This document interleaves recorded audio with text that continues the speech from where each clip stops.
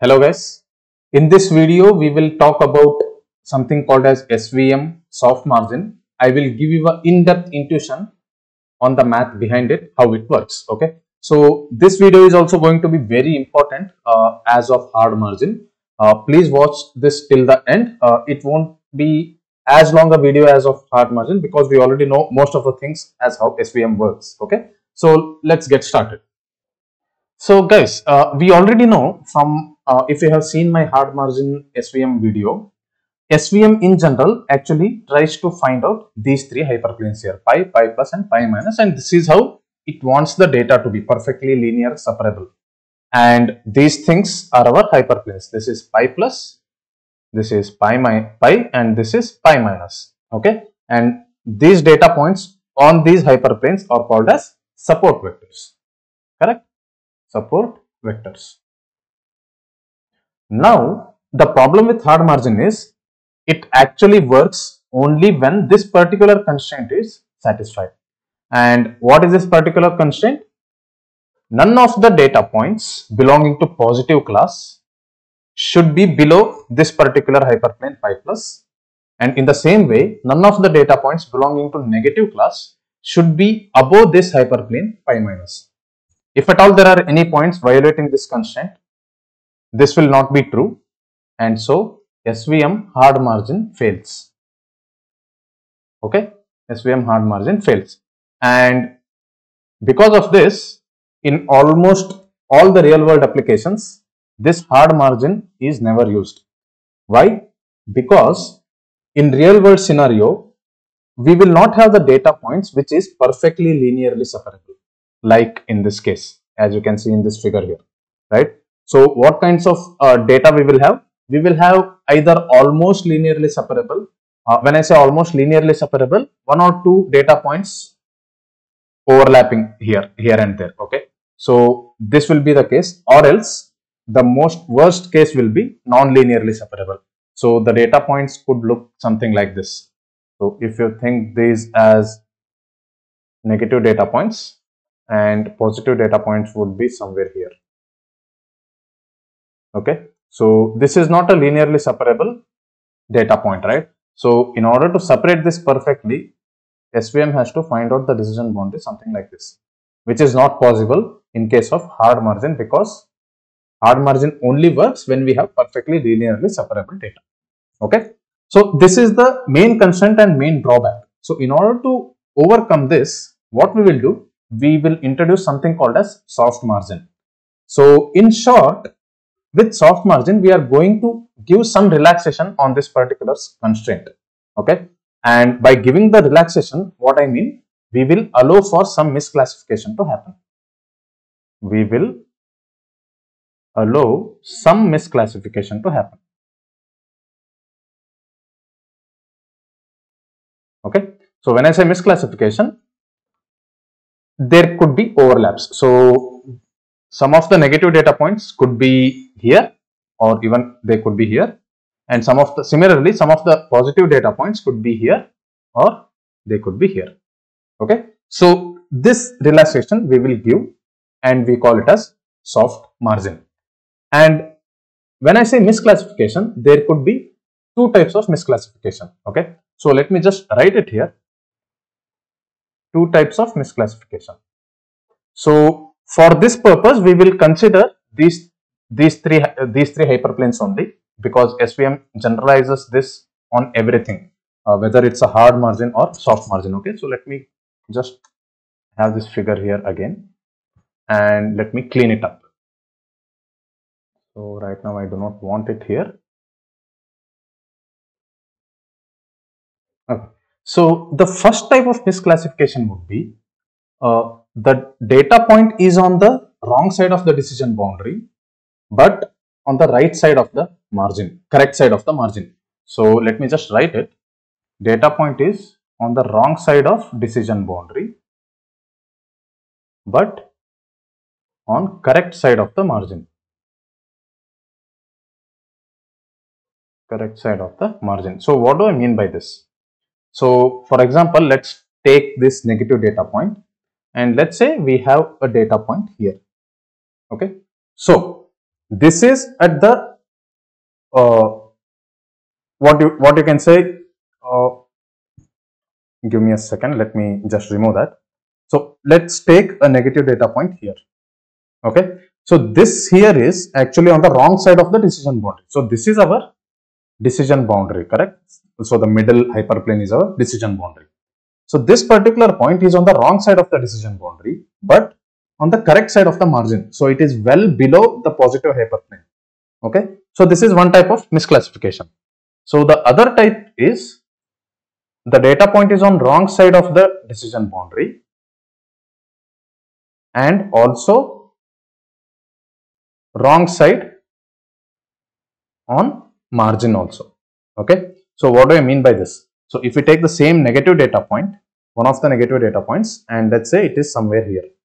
Right? So this data point is on wrong side of the decision boundary and also on the wrong side of the margin. Correct? So these are the two types of misclassifications that we can have. So what we will do we will allow for these misclassifications by introducing a new variable called as slack variable. Slack variables. And we will have these slack variables associated with each data points. So for example let's say we have m training records. M training records. So we will have m slack variables associated with them. Okay so for each training record for each data point we will have a slack variable associated with it so what this slack variable does and by the way this is denoted with the help of uh, greek letter zeta. So i don't know if i'm writing it correctly but this is how roughly it looks like. So i'll write it also. This is zeta. Okay? So slack variables are denoted as zeta. So what this slack variable actually is so this will obviously have some value associated with it. Okay? So usually the value of this zeta okay zeta of i will be greater than or equal to 0 based on the class misclassification whether the data point is getting misclassified or not. Okay so now i will give you the values associated with slack variables. So this zeta of i will be equal to 0 for correctly classified data points. Correctly classified data points which means the data points are on the right side of the decision boundary and also on the right side of the margin. Okay. Now, this zeta value will be greater than 0 but less than 1. So, in short we can write it as 0 less than zeta i less than 1. So, this is the case when we have first type of misclassification for these kind of data points okay? And for the second type of misclassification the zeta i value will be greater than 1 okay? So this is what zeta value gives us. And how you can interpret this zeta value? So this is nothing but the distance from the actual hyperplane it is supposed it was supposed to be. So for example uh, this particular negative data point here was supposed to be below this below this hyperplane right? So this zeta value is nothing but the distance from this hyperplane, how far it is. So, how far this data point has been misclassified from the respective hyperplane which it was supposed to be. So, that is the distance. Okay. And similarly, if we have some positive data point uh, shooting at this side here, so the zeta value for this particular data point would be the distance of this data point from its respective hyperplane which is pi plus.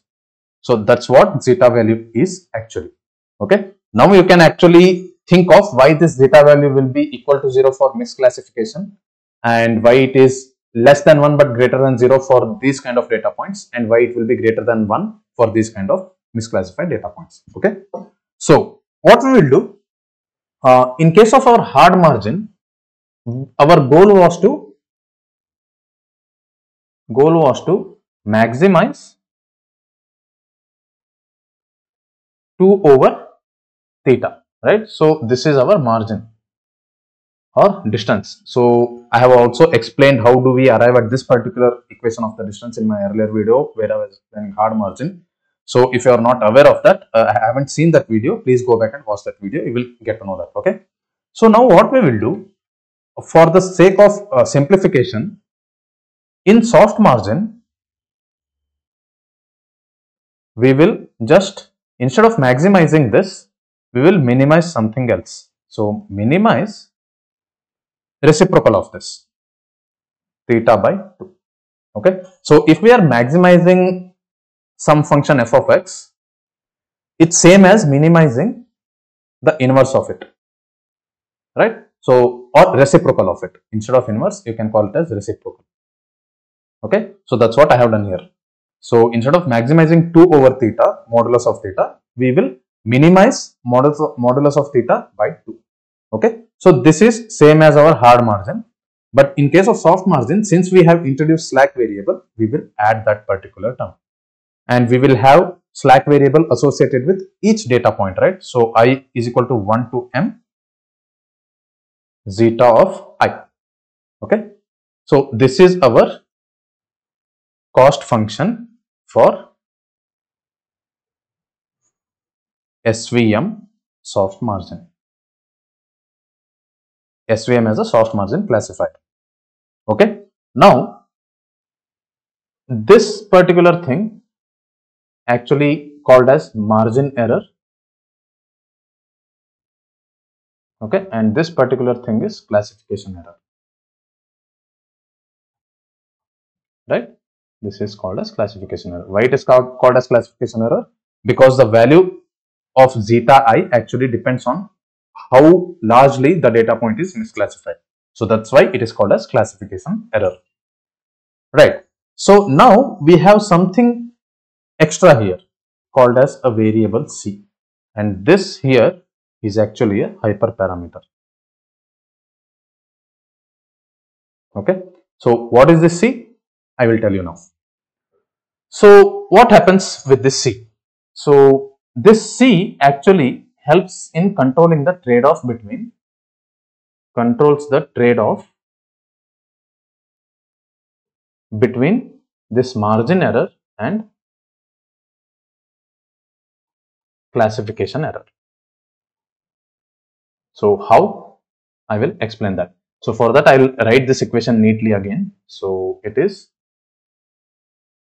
minimize over theta and b because these are our parameters, right? So what we will minimize? We will minimize modulus of theta by 2 plus c into summation of i is equal to 1 to m zeta of i, right? Now, this is our cost function for SVM as a soft margin classifier. Now, coming to this particular c value. So, if it is equal to 0, this whole term will be equal to 0 and there is no point of introducing slack variable right? So again we will go back to hard margin. Hard margin okay? Now if c is equal to 1 what we say? We give equal importance to minimize the margin error and also to minimize the classification error. So when i say to minimize the margin error and minimize the classification error. So indirectly I am saying my SVM to keep this margin as large as possible also keeping in mind to reduce this particular classification error. Okay? So if you just think think it through setting this c is equal to 1 if the data is non-linearly separable this will this will never actually work. Right so what we have to do we will give some value to c which will be greater than 1 or c less than 1 and not 0. Okay. So, now we will see these two scenarios, how this affects. So, if c is greater than 1, so let us say I am giving a value of 10 to c. So, what I am saying if this is 10, I am giving more weight or I am concentrating more on reducing the misclassification error. So, in this case, I am concentrating more on misclassification error, right. what do I mean by I'm concentrating more on misclassification error? I'm actually, I will be trying to minimize the classification error and I will not think much about this margin error. Okay. So I do not mind even if the margin is small, but I want to reduce the misclassification error by this particular factor 10. Okay. So this is when C is greater than 1. So what if C is let's say 0.2 or 0.5 something like this. Okay. So what I'm saying here, do not worry much on concentrating to minimize the misclassification error, but make sure you minimize this margin error. So here I am concentrating more on concentrating more on margin error. So when I say I am concentrating more on margin error, I want the margin to be as large as possible. So it could be this much big and I'm okay to accept some of the misclassifications. Okay, because I'm not I'm not giving much weightage to reduce this particular value here. If C is set to such values 0 0.2, 0 0.5, 0 0.1, 0.3, something like that. Okay, so this is how C actually controls the trade-off between margin error and misclassification error. Okay, and this thing here, theta uh, modulus of theta over 2 actually acts as a regularization factor. Okay, so if you have seen my uh, videos on logistic regression regularization or linear regression regularization, so you would understand why it is actually acting as regularization factor. Okay, and this particular thing here uh, C summation of i is equal to 1 to m zeta of i. This is actually called as hinge loss. Okay. So, in the end for SVM in general it is implemented as the cost function for SVM is so minimize sorry uh, the cost function j of theta comma b is given as theta over 2 modulus of theta over 2 plus c into i is equal to 1 to m zeta of i. So, this is our cost function and we have to minimize this. Our goal will be to minimize this. Minimize j theta comma b over theta comma b okay by modifying the values of theta comma b we will minimize this particular cost okay so hope this video is clear how uh, actually svm works behind the scenes in case of soft margin okay so so that's it for this video guys uh, hope you like the content and hope i am able to give you some intuition on how we are relaxing the constraint of, in the hard margin and achieving something called as soft margin SVM classifier. So if you like the content, uh, please give it a thumbs up and share it among your peers. Uh, if you haven't subscribed to my channel, please do subscribe. Happy learning. Bye bye.